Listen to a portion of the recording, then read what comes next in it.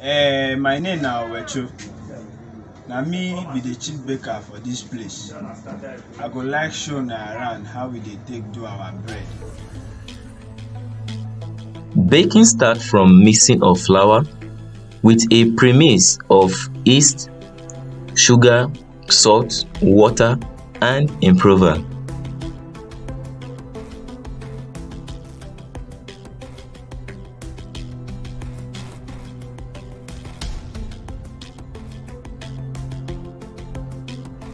After the mixing process, the mixture is then taken to a milling machine for proper binding and it's at that stage butters are added to the bread to make it tastier.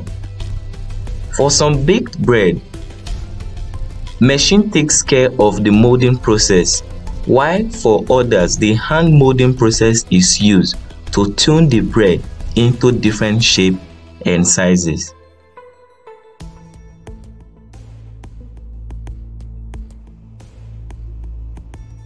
For a bag of flour which is sold for 14,000, one can bake bread that will cost up to 36,000 naira.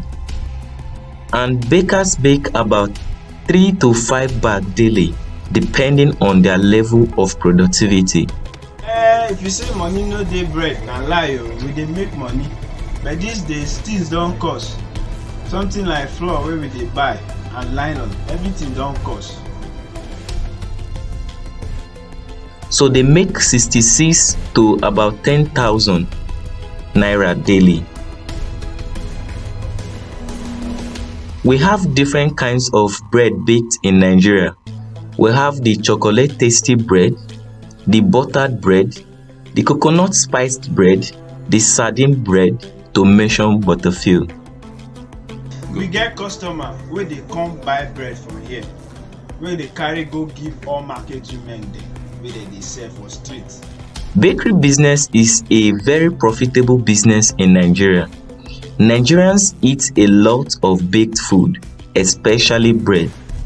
Bread is the most common meal in Nigerian household. Adults and children in Nigeria see bread as the fastest and easiest meal to eat with other beverages or other foods such as moi moi, akara and butter. Well, the people wey dey eat dis our bread, you know say here no be international bread dey make. na local bakery so na most young young women wey dey around our area dey chop am.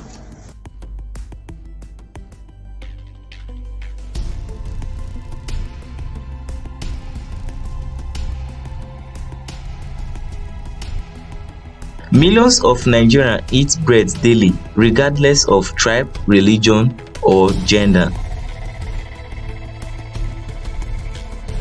That is why your choice to start a bakery business in Nigeria is a smart choice and a very profitable decision.